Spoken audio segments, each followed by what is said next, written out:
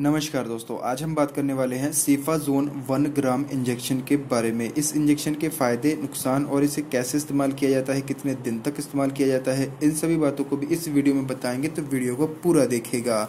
लेकिन उससे पहले दवाइयों की जानकारी पाने के लिए अपना डॉक्टर राज को कीजिए सब्सक्राइब, साथ में घंटी वाले निशान को दबाना ना भूलेगा। दोस्तों, सीफा जोन वन ग्राम इंजेक्शन आता है लुपिन कंपनी का, और इसका जो सॉल्ट होता है वो है सेप्ट्रियाक्जोन वन ग्राम इंजेक्शन एक हज़ार एम ठीक है?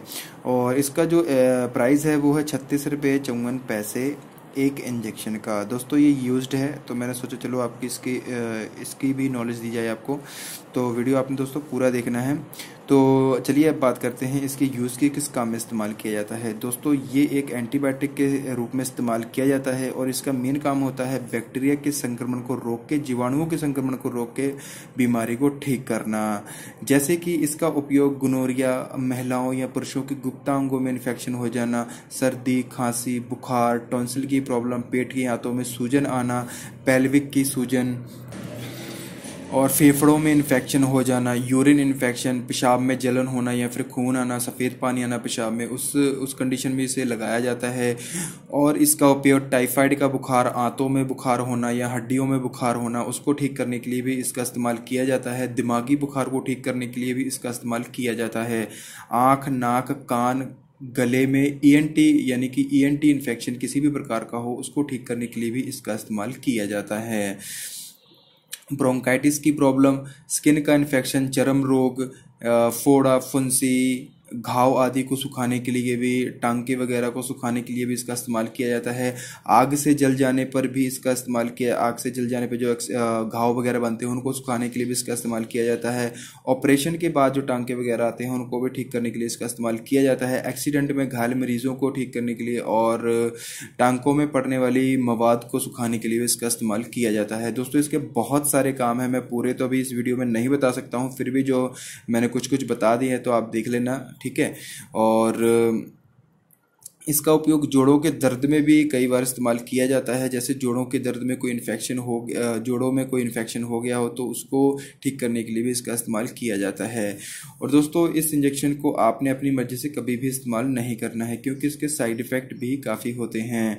इसे जब भी इस्तेमाल करें डॉक्टर से ही लगवाएँ, अपनी मर्ज़ी से कभी भी खरीद के घर पर ना लगाएँ। तो चलिए अब पहले बात कर लेते हैं कि इसे इस्तेमाल कैसे किया जाता है, कैसे इसको लगाया जाता है। दोस्तों, इस इंजेक्शन को इंट्रामस्कुलर और इंट्राविनस दोनों प्रकार से इस्तेमाल किया जाता है। यानी कि ये मांस में कूले में भी लग सकता है और आईवी भी लग सकता है, यानी कि नस में भी लग सकता है। इसे ज़्यादातर नस में ही लगाया जाता है क्योंकि ये कूले में लगाने से मांस में लगाने से बहुत ज़्यादा दर्द भी करता है।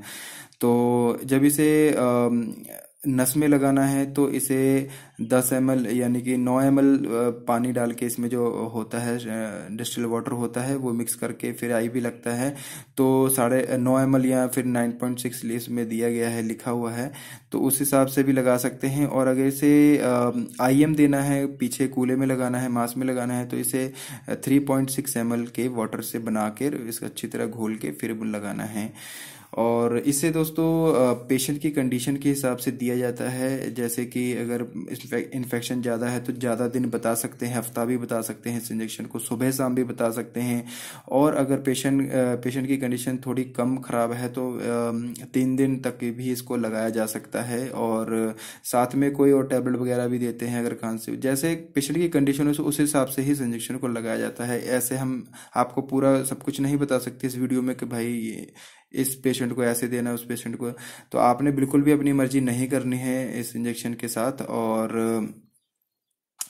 तो इसके साइड इफ़ेक्ट की भी बात कर लेते हैं, इसके नुकसान की बात कर लेते हैं, इसको क्या लगाने से क्या प्रॉब्लम हो सकती है। दोस्तों, अगर इस इंजेक्शन से रिएक्शन होता है तो इसको लगाने से मतली, उल्टी, घबराहट, चक्कर आना, बेहोशी होना और पेट में दर्द होना, दस्त लगना पूरे शरीर में खुजली होना, एलर्जी होना, सिर दर्द होना और घबराहट होना, ये सब इसके साइड इफ़ेक्ट होते हैं तो इसे आप अपनी मर्ज़ी से इस्तेमाल ना करें। तो दोस्तों, उम्मीद करता हूँ आपको वीडियो अच्छा लगा तो वीडियो को लाइक ज़रूर कीजिएगा चैनल को सब्सक्राइब करना ना भूलिए और साथ में जो घंटी निशान है, उसे भी दबा दीजिए ताकि आपको ऐसे ही वीडियोज़ के नोटिफिकेशन मिलते रहें। धन्यवाद।